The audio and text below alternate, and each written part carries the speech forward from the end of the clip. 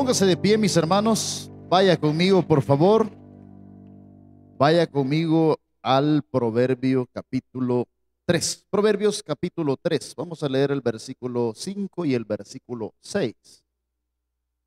Vamos a hablar de, de la prudencia. El tema de esta mañana, vamos a hablar de la prudencia, pero yo he titulado a esta pequeña meditación El peligro de la imprudencia. Porque todos cometemos ciertas imprudencias. Algunas tendrán un efecto corto. Algunas todavía estamos pagando por haber por haber apresurado a tomar una decisión. Mucho nos ha pasado así. A muchos. Vea lo que dice ahí el Proverbio capítulo 3, versículo 5. Lo tenemos. Dice que debemos de confiar en Dios 100%, 500% si usted quiere. Dice, todos juntos, fíate de Jehová de todo tu corazón y no te apoyes en tu propia prudencia. Reconócelo en todos tus caminos y Él enderezará tus veredas. Padre bendito, gracias por tu fidelidad. Gracias por tu amor. Ayúdanos esta mañana, Señor, a poder anhelar, tener, Señor, esa prudencia. Como tu palabra dice, Señor, que hay que anhelarla en nuestro corazón. Hay que desearla y buscarla. Esta mañana, Señor, podamos tener ese entendimiento, esa sabiduría para tomar decisiones, para poder, Señor, meditar cuando tengamos que obrar o tengamos, Señor, que actuar. Ayúdanos tu Espíritu Santo toma el control estos minutos en Cristo Jesús. Amén y amén. Tome su lugar. Buscando diferentes conceptos en cuanto a la prudencia, encontré este que dice que la prudencia consiste en actuar o hablar con cuidado, de forma adecuada, con moderación, reflexionando, con sensatez, teniendo siempre precaución para evitar posibles daños o inconvenientes, porque a nos pasa. Yo he escuchado personas que dicen, mire, mejor me voy a callar, porque si yo le contesto, yo me conozco. Esas son personas prudentes, porque siempre se ha fijado usted que las venganzas no son igual a lo que nos han hecho. Nunca son igual. Siempre cuando una persona ha recibido un daño, reacciona y hace el doble de lo que le han hecho. Entonces Dios nos pide a nosotros que tengamos cuidado, que tengamos cuidado, porque la sabiduría y la prudencia caminan juntas, siempre ahí en, Proverbios, pero en el capítulo 2. Vea lo que dice, que nosotros debemos de anhelar. A través de su palabra nosotros venimos a aprender a ser sabios. Dice el capítulo 2, Hijo mío, si recibiere mis palabras y mis mandamientos guardara dentro de ti. ¿Qué dice el 2? Haciendo estar atento tu oído a mi sabiduría. Y aquí viene lo que yo le decía. Si inclinares tu corazón a quién? A la prudencia. Y si clamares, si clamares a la inteligencia y a la prudencia dieres tu voz si como la plata la buscares. Mire cómo, cómo Dios dice que debemos de inclinarlos y buscarla. Y la escudriñares como tesoro, entonces entenderás el temor de Jehová y hallarás el conocimiento de Dios. Es decir, que solo Dios puede hacer posible que nosotros actuemos diferente en un mundo complicado. En un mundo complicado. A veces mejor es callar ¿Para qué? Para no meternos más en problemas. Eso es ser prudente. Usted sabe cuando a veces es mejor callar, porque a veces cuesta nuestra carnalidad. Me decía un hermano, ay pastor, tengo un hermano que viera cómo me provoca ahora que soy cristiano, cuando yo no era nada, cuando yo andaba perdido haciendo desórdenes, me hubiera hecho esto mi hermano, de lo que me ha hecho. Le garantizo, pastor. Yo sé, yo me conozco. Fíjese cómo es la gente. Por eso se empacha con algunos creyentes, porque no vamos a actuar. No vamos a actuar. Usted dice, no, no, pero ah, meterme en problemas, dice usted. E, esa es la prudencia.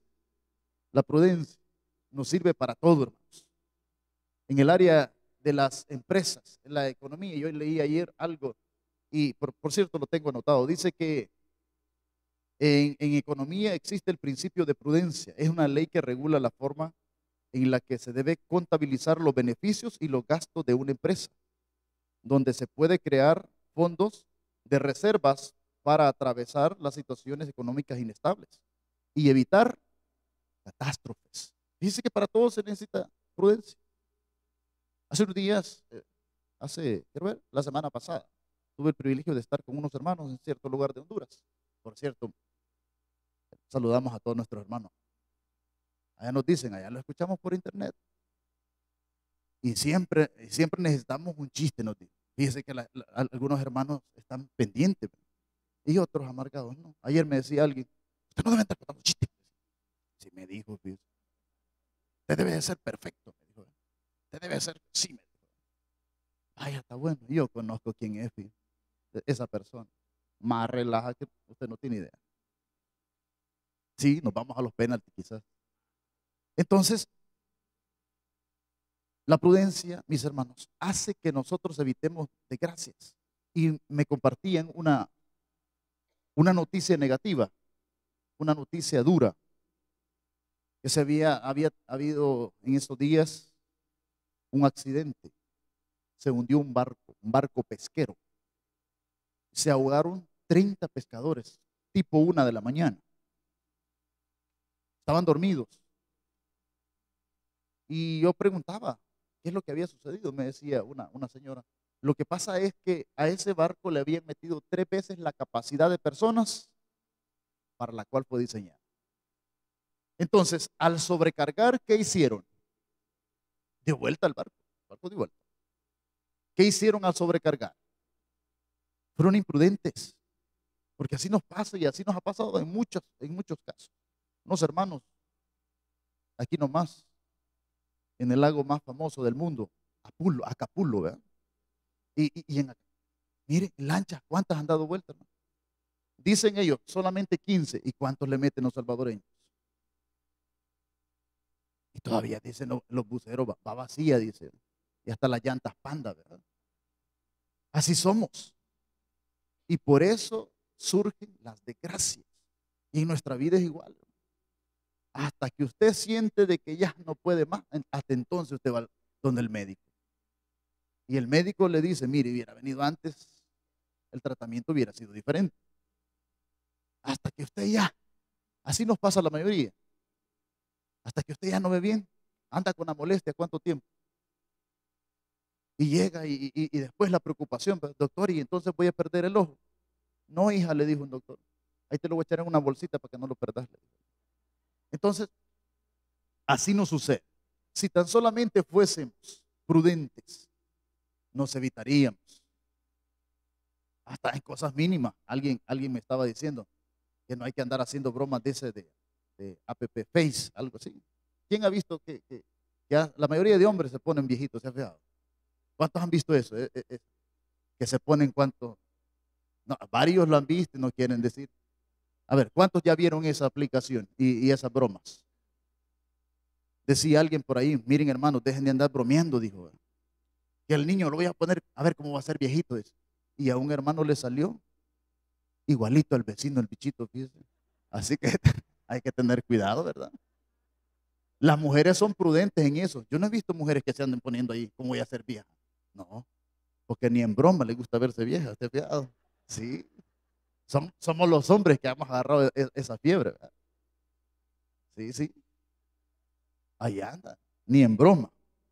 Mis hermanos, Dios nos garantiza, Dios nos garantiza que si somos prudentes, nuestra vida podrá estar rodeada de cosas difíciles.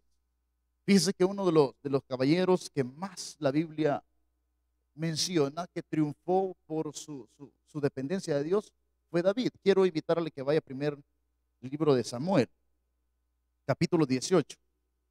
Todos conocemos la historia de, de este caballero valiente.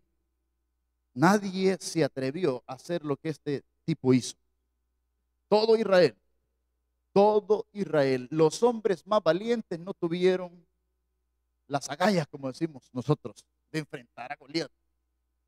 Porque Goliat dice que pasó más de un mes retando al ejército. Se puede imaginar la cantidad de tiempo que decía, habrá un solo hombre macho, voz de trueno, pecho de cóster, que quiera enfrentarse conmigo. Y dice de que todos le tenían miedo porque era una estatura considerable, brazo, un hombre de guerra. Y menciona la Biblia, su, su lanza y todo el armamento que llevaba. No, era impresionante. Nadie se... Pero David, David fue entrenado por Dios a pasar los, los peores momentos en el, en, en el, campo. No fue fácil. Imagínense que al más bicho mandaron a, a los peligros del monte. Y dice que allá tuvo que enfrentarse a quién? A verdaderas fieras, leones, osos y todo lo que hay. Dice que defendía a, a lo que le habían puesto a cuidar las ovejas. No fue fácil, pero allí Dios lo entrenó. A veces hay cosas que no entendemos y Dios nos entrena en ciertas áreas de nuestra vida. No lo entendemos. David, es más, fue ungido, pero no, no fue inmediatamente rey. Pasaron más de 10 años hasta después. Y sabe, dentro de, de, del propósito de Dios, dentro del propósito de Dios, dice lo siguiente. Fíjese que estamos, primera de Samuel, es primera de Samuel capítulo 18. Yo creo que le había dicho reyes, ¿verdad? No. Es primera de Samuel capítulo 18. Vea lo que dice, estamos en el versículo 5. Estamos hablando de que ya David había logrado la hazaña. Ya había logrado la hazaña. Es decir, ya había, había vencido al, al filisteo famoso. Ahí, ¿cómo se llama? Le había demostrado a todo mundo lo que significa depender de Dios. Y, dice en el versículo 46 del capítulo 17, Jehová te entregará hoy en mi mano y yo te venceré y te cortaré la cabeza y daré hoy los cuerpos de los filisteos a las aves del cielo y a las bestias de toda la tierra. Sabrá que hay Dios en Israel. Él, e, él tenía una convicción muy grande sobre Dios. Y todavía le dice al rey, el rey mismo no creía. Si Dios me ha librado, si Dios me ha librado de todas esas fieras, también me va a librar de esto. Fíjense qué, qué enseñanza para nosotros. ¿verdad? Sí, hemos salido de cuántas batallas, hermano. Yo sé que a muchos Dios los libró de la muerte, pero ya estaban viendo a San Pedro, así poquito le faltaba. Y Dios nos devolvió. ¿verdad? Dios nos devolvió. Dios nos ha dado una nueva oportunidad. ¿Cuántos accidentes? ¿Cuántas cosas? Y si Dios nos ha sacado de tantas cosas, cualquier problema que tengamos, hermanos, no significa que, que nos va a terminar. Lo contrario, entre más difíciles los problemas, más se puede fortalecer nuestra fe. De eso se trata. Fíjense que en el capítulo 18 ya, ya había vencido y ya estaba en otro nivel de vida. Y dice de que el hijo del rey, en el 4, y Jonatán se quitó el manto que llevaba y se lo dio a David, y otras ropas suyas, hasta su espada, su arco, todo le dio el equipaje. Y salía la, el 5 dice, y salía David donde quiera que Saúl le enviaba. ¿Cómo se portaba? Dice. Era un muchacho. Y como jóvenes hay muchas inquietudes. Pero lo, lo, los que quieren cosas grandes tienen que aprender a ser prudentes. Porque las decisiones que se toman hoy son las que vivimos más adelante. Y, y sabe, el peligro estaba, le pasó mucho, si usted ve, dice eh, el versículo 8 del capítulo 18, y se enojó Saúl en gran manera y le desagradó este dicho, a David le dieron diez miles y halló, y ese, ahí va el ego, ¿verdad? los megalomas, y halló, dice, ¿verdad? solo me dieron miles. No le falta más que el reino a este bicho. Y desde aquel día Saúl no miró con buenos ojos a David. ¿Qué dice el 11? Y arrojó Saúl la lanza diciendo, enclavaré a David a la pared. Pero ¿qué hizo David? Mire, el peligro estaba y estaba terrible. David estaba caminando en un campo minado. El peligro estaba dentro. Y él tenía que hacer algo. Por eso la Biblia dice en el versículo 14, ¿qué dice? Y David se conducía prudentemente en todo lo que hacía. Y Jehová estaba con él. Es decir, Dios está con nosotros, pero ¿qué, ¿cuál es nuestra parte, hermanos?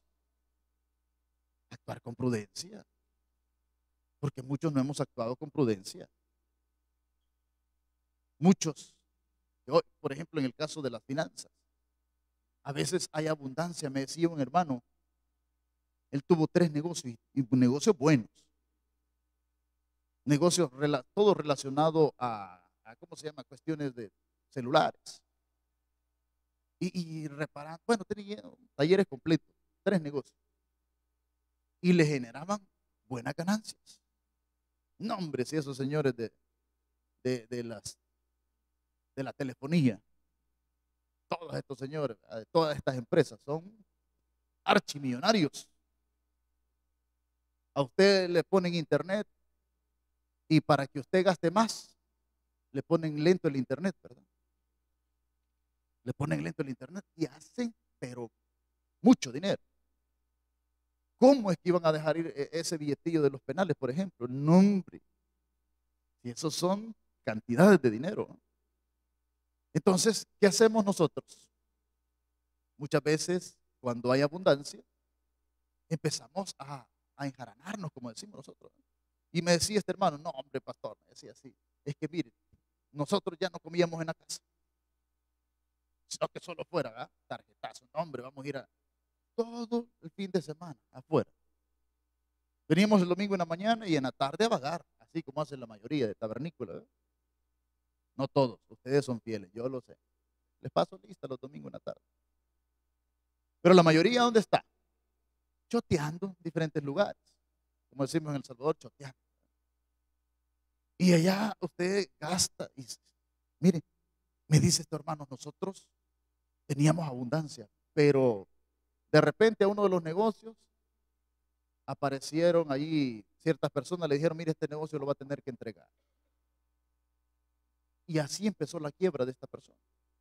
Y yo tenía una tarjeta y no sé qué más, topada con 10 mil dólares y un par de días que usted se atrase con estos ladrones, digo, perdón, señores de los bancos,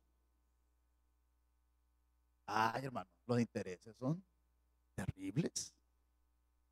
Usted compra un su carrito en 15 mil dólares y en un plazo de 10 años o menos, ¿cuánto va a pagar por el carro? Tres veces lo que vale el carro. Increíble, increíble lo que cobran, ¿verdad? Y como nadie les hace nada. Pero bien, no vamos a hablar de eso. Mis hermanos, dice que la prudencia muchas veces nos hace sucumbir, hasta en cosas mínimas. Por ejemplo, Proverbios 10, 19. Vaya conmigo ahora a Proverbios 10, 19. Leíamos que para no fracasar en, un mundo minado, ¿qué hizo David? Aprendió a ser prudente. Hasta en las palabras, hermanos. Todos podemos tener malas experiencias si somos imprudentes. Hace unos días estábamos en cierto lugar, había una reunión de líderes de una, de una iglesia de una de las filiales. Y los amigos siempre le llaman a uno. Aquellos que son amigos de los puestos, pues cuando uno ya no está en cierto lugar, ya. Pero los que son amigos, son amigos. Mire, venga, estamos en tal lugar, tengo, tenemos los líderes, estamos discutiendo y discutíamos algo sobre la prudencia. ¿Cómo nos preserva? ¿Cómo, ¿Cómo hace la diferencia cuando una persona es prudente? Y la Biblia pone ejemplos en el caso de las vírgenes que guardaron aceite y las otras que no fueron prudentes. Cuando llegó el esposo, las que no tenía empezaron a, lamentarse, pero las que habían guardado, porque, insisto, cuando hay abundancia, no hay que despilfarrar. Porque así como hay vacas gordas, la misma Biblia nos pone ejemplo, ¿verdad? Hay vacas flacas, hermano. Hay días que son buenísimos para vender. Pero hay días que, como decía la mayoría, no sale, pero ni la ciguanaba. Difícil. Entonces, ahí donde nosotros debemos de, de tener un equilibrio. Lo tenemos. Proverbios capítulo 10, versículo 19. ¿Qué dice la escritura? En las muchas palabras no falta pecado. Ajá. Mas el que refrena sus labios es prudente. ¿A cuánto nos cuesta refrenar nuestros labios, hermano? Porque a veces queremos demostrar que sabemos ciertas cosas. Increíble, hay personas que, quieren demostrar que saben muchas cosas. Y fingen y le aumentan. El que sabe, hermanos, los sabios no andan diciendo que son sabios. Uno sabe. Me preguntaban de cierto, de cierto pastor que eh, muy bueno, no voy a negar, que profesional y todo. Pero me decía, ¿qué opina de él? Yo recibí seis materias de él cuando estudiaba teología. Muy bueno, pero su ego es muy grande. Según él, nadie sabe más que él. Y yo, me- y yo, yo le mencionaba a, a esta persona, a este amigo que me estaba preguntando, y fíjese que hay otro, igual que él, es profesional, en la misma área de la abogacía. Tranquilo, pastor presa. Ese hombre sabe. Y no le anda diciendo al mundo que sabe. Y probablemente sabe más que el otro. Porque así somos. Muchos nos gusta demostrar ciertas cosas, hacer ver que otros son ignorantes. Ay, hermano, así es la imprudencia. Mire qué interesante lo que dice la Biblia. ¿eh? El que refrena sus labios es prudente. En esa misma reunión eh, empezamos a hablar y, preguntábamos quiénes habían cometido una imprudencia. Y una hermana dijo, a mí me pasó. Dice que en iglesia el día domingo X hicimos la actividad y después de evangelismo una hermana de las nuevas le dijo a, esta hermana, hermana le dijo, mire, vamos un ratito a mi casa, allá comemos hermana. Usted sabe que los nuevos en su primer amor, allá comemos, le dijo, y de ahí nos venimos otra vez para la iglesia. Y le dice, no, fíjese que tengo que ir a ayudar a mi mamá, que no sé qué. Le puso excusas, no fue. Pero resulta que la hermana, eh, no, no, no se fueron, se quedaron por ahí platicando. Al ratito, dice que empezó a platicar la hermana a la que le habían dicho. Y le dijo, mire, le dijo, ¿y ya comió? Le, le preguntó otra hermana. No, le dijo. No, y no va a creer que la, la hermana, aquella, la hermana nueva, la fulana, me estaba invitando a comer y yo esa mujer ni la conozco, ni confianza que le tengo. Y la hermana estaba atrás de ella. ¿A cuánto los ha- nos ha pasado así, hermano? A nadie le ha pasado eso. A ver, ¿habrá algún honesto? Voy a cerrar los ojos para no verlo. Ajá. ¿Habrá algún honesto que por, que por bocón hemos pasado alguna vergüenza? Qué feo y horrible es eso, hermano. Y dice la hermana, ay, y dice que le hicieron seña, atrás estaba. Ay, dice la hermana. La imprudencia. ¿Cómo cree que se sintió esa pobre mujer que de buena manera invitó a almorzar a la hermana? Se sintió mal. Le garantizo que nunca la va a volver a, invitar. Así nos pasa a nosotros. ¿Cuántas amistades perdemos? ¿Cuántas cosas perdemos? Por lo mismo, porque no somos prudentes. No somos prudentes, hermano. Vaya conmigo, por favor. Acompáñeme a un caso. Ahora sí, Primera de Reyes, capítulo 13. Primera de Reyes, capítulo 13.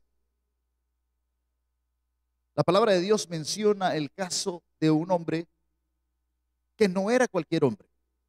Porque la imprudencia, hermanos, la podemos cometer o la cometemos todos. No hay un mortal que se pueda librar de cometer imprudencia.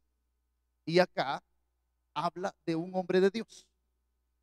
A mí me llama la atención y a la vez me dio pesar leer esto. Porque siendo un hombre de Dios, un hombre que Dios le hablaba y la forma de hablarle era más directa. Y, dice de que Dios le había dado una encomienda que fuese amonestar a, a un rey pagano, uno de los reyes que tuvo Israel, uno de los reyes paganos, de los peores. Y dice de que tenía que irle a amonestar y a decir todo lo que le iba a pasar si él no enmendaba. Y Dios le dio una orden, una orden directa. ¿Quiere verlo conmigo? ¿Qué dice la Biblia? ¿Qué dice la Biblia? Léalo conmigo, capítulo 13. Vea conmigo, por favor, el versículo 4. ¿Qué le había dicho? Dice en el versículo 4, cuando el rey Jeroboam oyó la palabra del varón de Dios que había clamado contra el altar de Betel, extendió su mano desde el altar. Dijo, atraparlo, a prenderle. Mas la mano se le, que había extendido contra él se le secó y no la pudo enderezar. Mire cómo Dios estaba con, con, ese, con ese hombre. ¿verdad? Y luego dice, y el altar se rompió y se derramó la ceniza del altar conforme a la señal que el varón de Dios había dado por palabra de Jehová. Entonces respondió el rey, dijo al varón de Dios, te pido que ruegues ante la presencia de Jehová tu Dios y ores por mí para que mi mano no sea, eh, para que mi mano sea restaurada. Y el varón de Dios oró a Jehová y la mano del rey se restauró y quedó como era antes. Fíjese que Dios lo mandó. Versículo 7. Y el rey dijo al varón de Dios, ven conmigo a casa y comerás. Y yo te voy a dar, yo te voy a aliviar. Fíjese que, cómo son las cosas, ¿verdad? Te voy, a dar un presente, te voy a dar un chequezote, ¿verdad? Te voy a dar algo. Pero mire lo que significa lo siguiente, y comerás, yo te daré un presente. Pero el varón de Dios dijo al rey, ¿qué le dijo? Aunque me dieres la mitad de tu casa. Estamos hablando de un hombre que estaba en el reinado y tenía muchas cosas. No iría contigo, ni bebería, ni comería pan, ni bebería agua en este lugar, porque así me está ordenado por palabra de Jehová, diciendo, no comas pan, ni bebas agua, ni regreses por el camino que fueres. La orden de Dios fue directa. Vas a ir, le vas a exhortar, no vas a comer, ni vas a tomar agua, ni vas a regresar por el mismo camino. La orden era clara. Y dice más adelante eh, el versículo 10, regresó pues por otro camino y no volvió pero aquí viene una situación difícil. en el 11 moraba entonces, ¿qué dice? Un viejo profeta al cual vino su hijo y le contó todo lo que el varón de Dios había hecho en aquel lugar. Dice el 12 y su padre le dijo, ¿por qué camino fue? Y sus hijos le mostraron el camino por donde había regresado. 13. Y él le dijo a sus hijos, ensilladme el asno para irlo a alcanzar. 14. Y yendo tras el varón de Dios, le halló sentado debajo de una encima y le dijo, ¿eres tú el varón de Dios que vino de Judá? Le dijo, yo soy. Entonces le dijo, ven conmigo a casa y come pan. Mas él respondió, no podré volver contigo, ni iré contigo, ni tampoco comeré pan, ni beberé agua contigo en este lugar. Porque por palabra de Dios me ha sido dicho, no comas. Fíjese cómo le dijo. 18. ¿Qué dice el, el versículo 18? Y el otro le dijo, ¿cómo? ¿Cómo se dice cuando una persona le ha mentido a alguien y lo engañó? Estamos hablando en el diccionario salvadoreño. ¿Cómo se dice? Lo timó. Ah, ¿Entiende usted ese lenguaje? Le dio, mire, atol con el dedo. Le mintió. Mire el versículo 18. Y el otro le dijo, mintiéndole, yo también soy profeta como tú. Y un ángel me ha hablado por palabra de Jehová diciendo, trae contigo a la, eh, tráele contigo a tu casa para que coma pan. Entonces volvió con él y comió pan en su casa. Hizo lo que Dios no le había ordenado. Porque en todos lados, hermanos, hay engañadores. ¿Qué debe de hacer usted? Porque hay una persona que le va a aconsejar algo y hay otra persona que le va a aconsejar algo. ¿Qué debe hacer usted? Nosotros tenemos, tenemos al Espíritu de Dios. Y Él es el que nos va a indicar o nos, o nos va a dar paz o nos va a inquietar. Yo no sé si a usted le ha pasado. Porque es bueno escuchar consejos. Dice la Biblia, en la multitud de consejeros está la victoria. De pedir orientación. Pero el hecho de pedir orientación no significa que usted va a hacer lo que muchas veces algunas personas opinan, sino que al final quien determina es Dios. A mí me llama la atención el caso en el cual terminó este hombre, porque terminó, fíjese, no fue prudente, versículo 19. Entonces volvió con él y comió pan en su casa. Ah, qué terrible. Si usted ve más abajo, en el versículo 21, y clamó el varón de Dios que había venido de Judá diciendo, así dijo Jehová, por cuanto has sido rebelde al mandato de Jehová y no guardaste el mandamiento que Jehová tu Dios te había prescrito, sino que volviste y comiste pan y bebiste agua en este lugar que Jehová te había dicho que no comieses pan ni bebieses agua, no entrará tu cuerpo en el, en el sepulcro de tus padres. Cuando había comido y bebido y el que le había hecho volver, Dice que el profeta se fue en el versículo 24. Yéndose, le topó un león en el camino y le mató. Y su cuerpo estaba echado en el camino y el asno junto a él. Y, el, león también junto al cuerpo. ¿Sabe qué es lo que pasó? Dice el 26. Léalo conmigo. Oyéndolo, el profeta que le había hecho volver al camino dijo: El varón de Dios es. Y que un león lo mató. ¿Qué fue? ¿Qué dice? Rebelde al mandato de Jehová. Por tanto, Jehová le ha entregado a león, que le ha quebrantado y matado conforme la palabra que él le dijo. ¿Cuál fue el fracaso del hombre de Dios? Haber creído y no haber orado. Usted, usted y yo podemos recibir cualquier consejo, cualquier instrucción, pero hay que hablar con Dios. Este hombre no habló con Dios le creyó al otro porque le dijo, mira, no, yo soy 100% tábero, le dijo. Los timadores así son. No, hombre, yo ahí antes iba, hoy me he quedado por ahí en otro lugar, pero mira, así son los timadores. Y dice de que fracasó este hombre por no haber sido prudente. Porque él pudo haber platicado a Dios, Señor, ¿será cierto que tú le hablaste a él? Pero no, le creyó. Y así nos pasa mucho. Mis hermanos, el tiempo se nos ha agotado, solamente quiero que vea Primera de Samuel, capítulo 30, rapidito. Primera de Samuel, capítulo 30. David, en uno de los momentos más difíciles, donde no hallaba qué hacer, la gente dice de que estaba en tan grande situación difícil. Veamos rapidito capítulo 30, versículo 6.